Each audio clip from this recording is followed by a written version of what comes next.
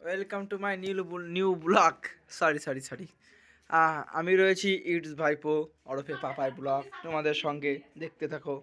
এই যে আজকে ব্লগটা হলো কে যেন ভাই? নেশা কাটানো জিনিস।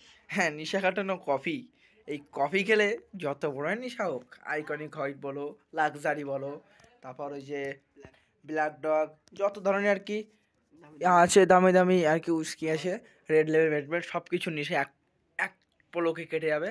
দেখো আমার এই সেই দেখতে থাকো আমার সেই বিখ্যাত কফি।